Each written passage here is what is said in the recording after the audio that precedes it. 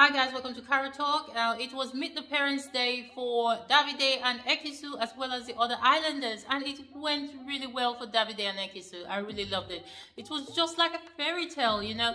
Everything's just going smoothly for them. Ekin-Su's brother looks like Davide. I don't know if any one of you actually thought that. When I saw him, I actually thought it was for Davide, like Davide's brother or something, but it was Ekin-Su's brother.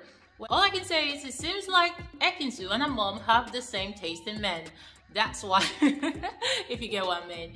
Okay, back to meet the parents. You know, Ekin-Su's mom really loved Davide, and you know what she said really got to me. She said that as soon as she saw Davide, she had this feeling like a premonition or something that Davide was walking into their home.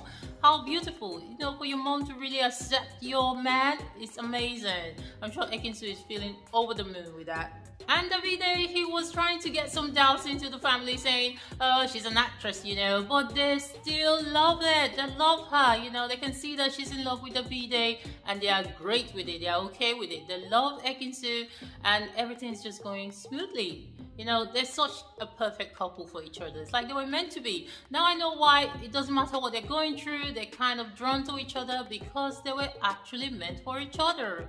How beautiful is that? Well, guys, you have your winners. But what do you think about Meet the Parents Day for Davide and Ekin-Su? Let me know your thoughts about it in the comment section. And before you go, don't forget, like, share, subscribe for more videos.